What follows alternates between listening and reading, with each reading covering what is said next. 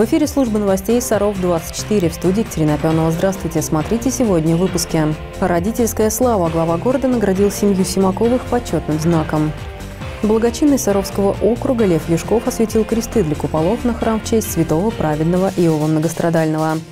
Dream Dance Fest задорники победили в танцевальном проекте в рамках фестиваля искусств «Славянский базар в Витебске 2021». Далее расскажем по всем подробно. Россияне смогут зарегистрировать рождение или смерть без посещения органов. ЗАГС порядок государственной регистрации утвердило правительство.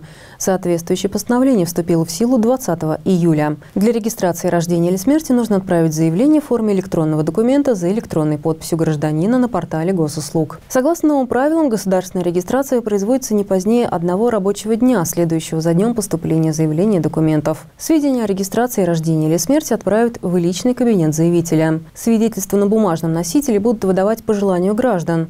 Об этом нужно указать в соответствующем заявлении. Предоставлять все справки в электронном виде в момент обращения за их получением власти Российской Федерации планируют к 2024 году. Об этом сообщил вице-премьер Дмитрий Чернышенко. Он отметил, что до конца следующего года в цифровой формат переведут еще примерно 200 госуслуг. Кроме того, по его словам, правительство планирует обеспечить всех граждан Российской Федерации бесплатной электронной подписью. Глава города Алексей Сафонов вручил семье Симаковых почетный знак «Родительская слава».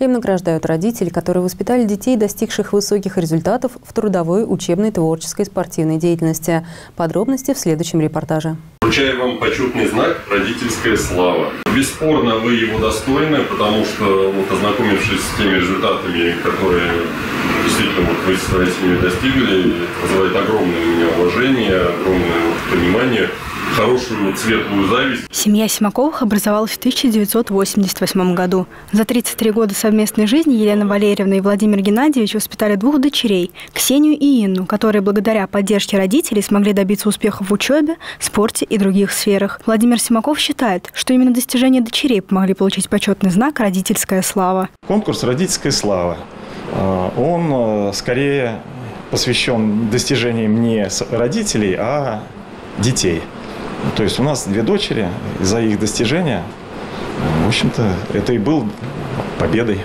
в этом конкурсе, их достижения. Владимир Геннадьевич помогал дочерям в учебе, а Елена Валерьевна отвечала за творческие и спортивные увлечения девочек. Старшая дочь Ксения с детства играла на фортепиано и с годами не утратила любовь к музыке, а сейчас помогает уже своей дочери освоить игру на скрипке. Младшую дочь Инну родители решили отдать в лыжную секцию. Под руководством Елены и Николая Судовых Инна была многократным победителем и призером соревнований различного уровня. Поступив в МГУ, девушка не забросила спорт и продолжает добиваться новых успехов. Лыжный спорт, он же очень разносторонний вид спорта. Там и бег, и роллеры, и лыжи.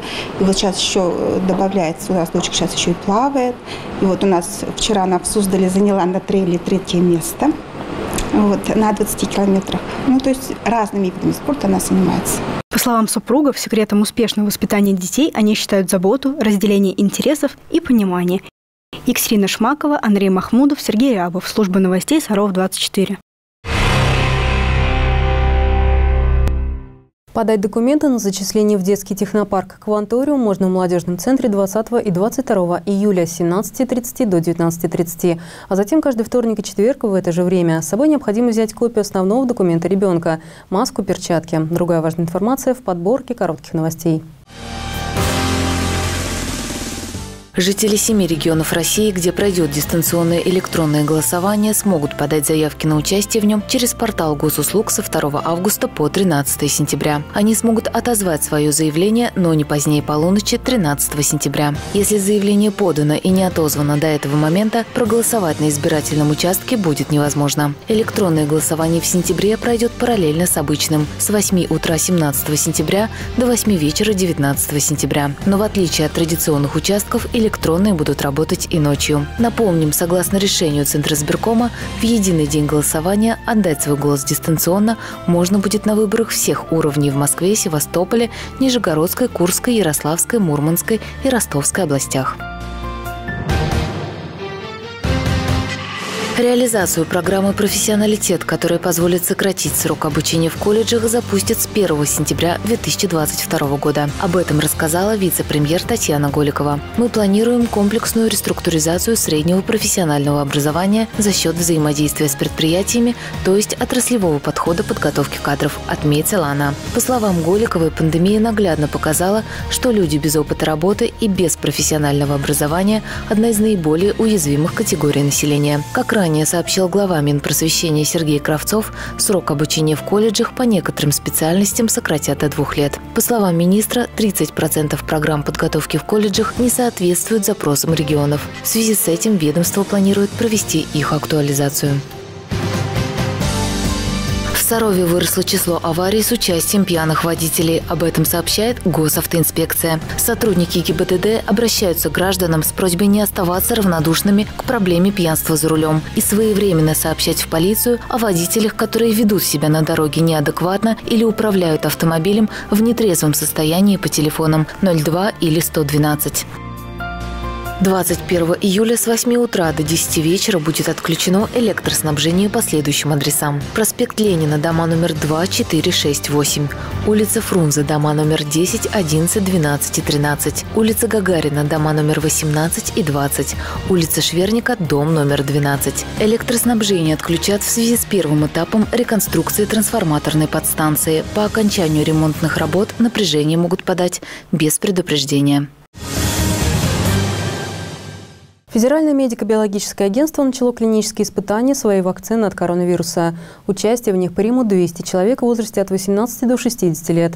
Вакцина разработана на новой технологической платформе и нацелена на развитие клеточного иммунитета, используя в качестве мишени консервативные белки вируса, наименее подверженные мутации. В июне завершились доклинические исследования препарата, и их признали успешными. Были доказаны его иммуногенность, защитный потенциал и безопасность.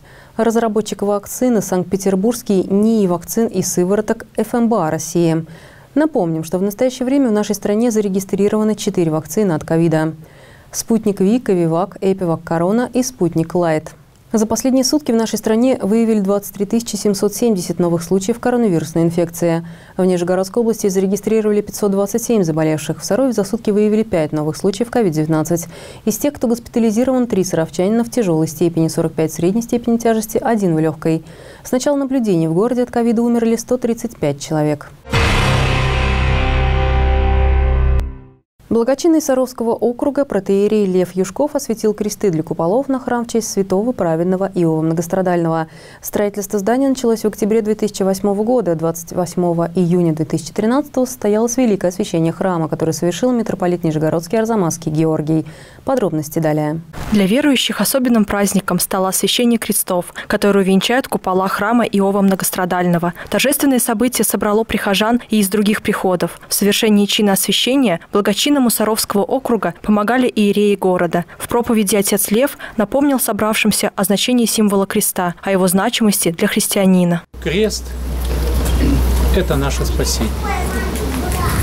Крест – красота церкви, крест верных утверждений. И с тех пор, как на нем пострадал Господь наш Иисус Христос, крест из орудия позорной смерти стал знаменем спасения. Освящение крестов – один из этапов строительства нового пристроя к храму. С каждым днем количество прихожан церкви увеличивается. Сюда приходят и родители с детьми, и молодежь. Поэтому расширение помещения храма – очень значимое событие для всего прихода. Мы храм реконструируем, расширяем его. В нашем, у нас сейчас, вот в настоящее время, храм небольшой, Э, людям стоять в храме тесно.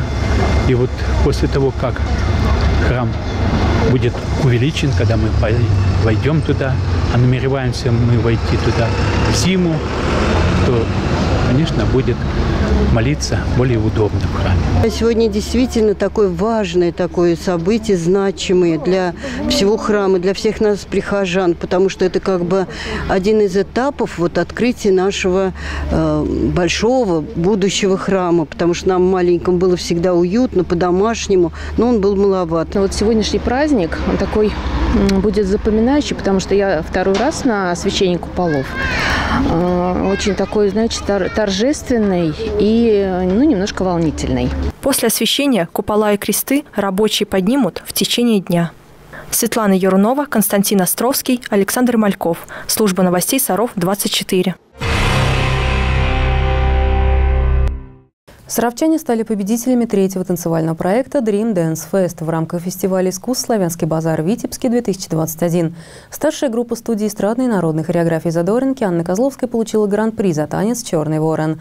Подробности в следующем репортаже. Опыт выезда за границу для задоринок был впервые. Особой гордостью для коллектива стало представление России на Большом международном фестивале искусств «Славянский базар Витебске». Никто из участниц и не мечтал о гран-при, но упорный труд и талант девушек сделали свое дело, и саровчане стали лучшими из лучших в танцевальном искусстве. Сначала мы прошли национальный отбор, который был организован в Москве при посольстве Беларусь. И как победители этого проекта мы поехали представлять Российскую Федерацию бесплатно.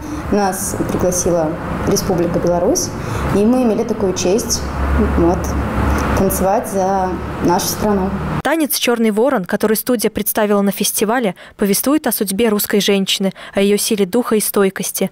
Постановка покорила зрителей и членов жюри необыкновенной глубиной и зрелостью чувств. Несмотря на юный возраст, девушки исполнили танец трепетно и проникновенно. Это такой номер, который мне кажется, тронет за душу любого зрителя, даже самого жесткого критика. И, конечно, очень хочется, чтобы этот номер танцевал как можно больше на Саровской сцене, чтобы наши саровчане посмотрели этот шедевр, прониклись. Победа на танцевальном проекте Dream Dance Fest в рамках фестиваля вызвала у участниц бурю эмоций. Слезы счастья, восторг и искренняя радость. Все чувства девушек не передать словами. Это было грандиозно, конечно же. Мне очень сильно понравилось, потому что это такой уровень, когда мы поехали именно э, на международный конкурс в другую страну. Церемония награждения. Это невероятные эмоции, это незабываемые.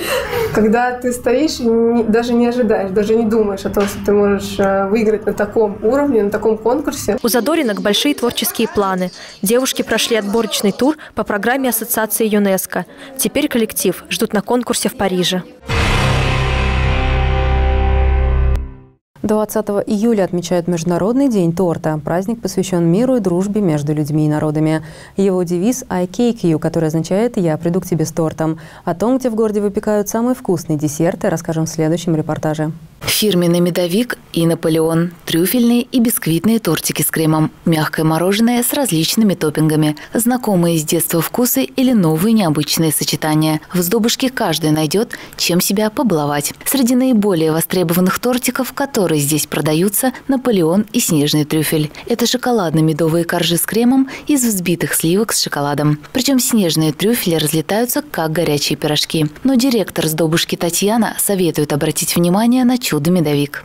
Это очень вкусные карамельные коржи, а, нежный сливочный крем и грецкие орехи с черносливом. Замечательное сочетание. Очень вкусный десерт. Хотелось бы сказать про брауни. Ой, тремя словами, наверное. Влажный, сочный, мега-шоколадный десерт. В сдобушке используют только свежие и качественные натуральные продукты. Готовые кондитерские смеси, маргарин, яичный порошок или сухое молоко пекари обходят стороной. Каждое блюдо готовят как самим себе. Поэтому, покупая десерты сдобушки, вы можете быть уверены в качестве продукции. Заказать угощение на свое торжество можно даже за один день. Доставят его бесплатно. Можно торт заказать по случаю, без случая, с оформлением, без оформления, на любой вес, на любую цену. То есть э, каждый заказ обговаривается индивидуально. Ну, конечно, чаще всего заказывают детские торты. Детские торты в виде цифры с любимыми героями детей. Побаловать себя вкуснейшими десертами можно не только в день рождения. Сладости от сдобушки любой даже ненастный день превратят в праздник и подарят хорошее настроение. Познакомиться с ассортиментом кондитерской можно в группе ВКонтакте. Пекарня находится в Элеганте на улице Чапаева. Телефон плюс 7 950 608 46 98. И это все, о чем мы успели рассказать сегодня. Следите за новостями города в группах канала 16 в социальных сетях ВКонтакте, Фейсбук, Одноклассники. Подписывайтесь на наш канал в Ютубе, смотрите все информационные выпуски, авторские программы в удобное для вас время. В студии работала Екатерина Пенова. Всего вам доброго и хороших вам новостей.